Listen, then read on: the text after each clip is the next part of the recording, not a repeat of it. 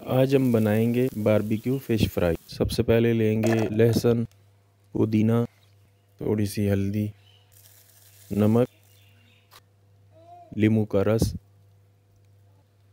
Cooking oil in सबको अच्छी तरह से ग्राइंड करेंगे। अब इसको फ़िश के ऊपर लगा के तीन घंटे के लिए छोड़ देंगे।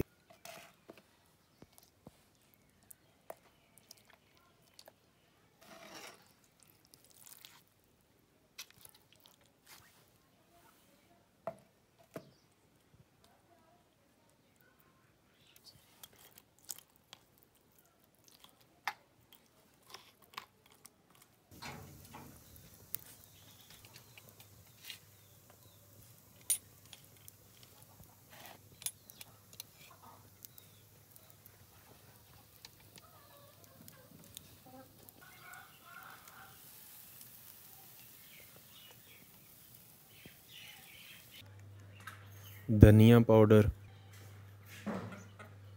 ज़ीरा, गरम मसाला, नमक, लाल मिर्च, थोड़ा सा बेसन लींबू का रस,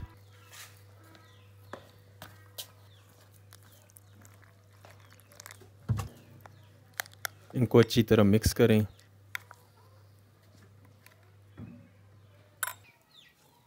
अब इस मसाले को हाफ़ फ्राई की हुई फ़िश के ऊपर लगाएँ।